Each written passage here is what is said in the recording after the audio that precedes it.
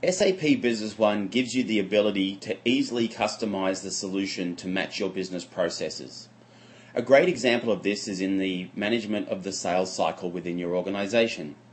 By going into the sales area, it's possible to create a sales quotation, then move that through the sales process into a sales order, to a delivery, and then finally through to an accounts receivable invoice. It's also possible to start the process at any point.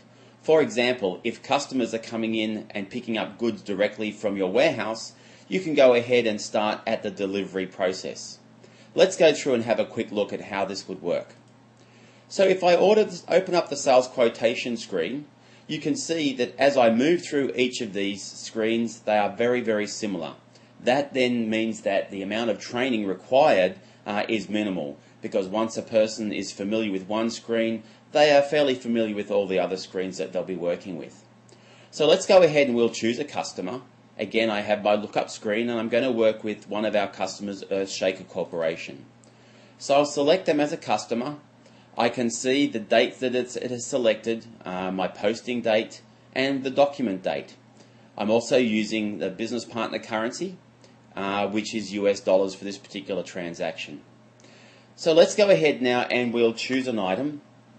So in this particular instance, the customer wants the IBM Info Print 1312. And I can immediately see that I have 1,415 of this item in stock. So I'm going to choose that particular product.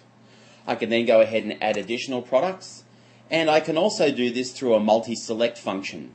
So if they've said to me, look, we also would like the IBM Info Print 1226, and I also want uh, a color LaserJet 4.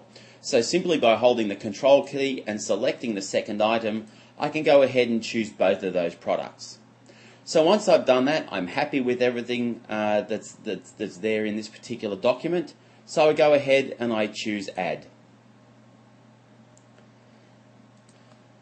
Once I have that document in the system, I can quickly go ahead and I can send a copy of that quote I can either print that, uh, I can do a print preview, I can print it out the hard copy, I can email, I can fax that out, or I can generate it into a Word template. Now I've finished the sales quotation. Let's assume the customer has just called me back and said, hey, um, I'm happy with the quotation. What I'd like to do now is take that uh, and turn that into a sales order.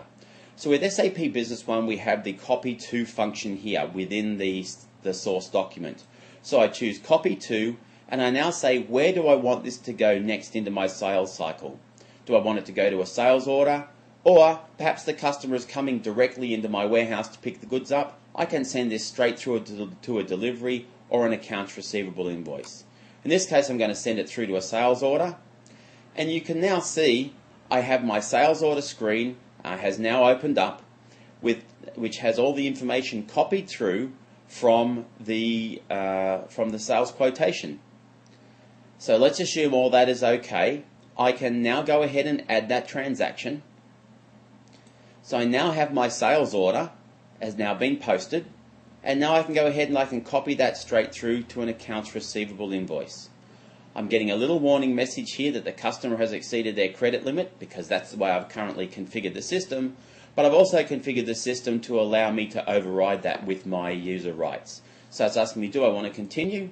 And I'll say yes, and again it has gone ahead and it's created an accounts receivable invoice for me. So uh, that's the final stage in the process. When I'm happy with everything on the accounts receivable invoice, again I can go ahead and print that or get a print preview of that, uh, that accounts receivable invoice.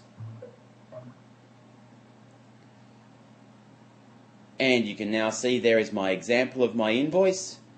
Uh, but assuming everything is okay, I just go ahead and choose add and it's warning me that I cannot change the document after I've added it. Why? Because I'm about to post directly into the general ledger. So I will go ahead and uh, say yes. Again, one more credit limit warning. Do I want to continue? Yes, I do. And that's the process. I've gone from a sales quotation through to a sales order, right through to an accounts receivable invoice, and the system uh, gives me the ability to manage that process and to also dive in. You'll notice I missed the delivery process. That's because for my particular organisation, uh, we didn't want to do the delivery at this particular point in time. We just wanted to go ahead and turn that sales order straight into an accounts receivable invoice.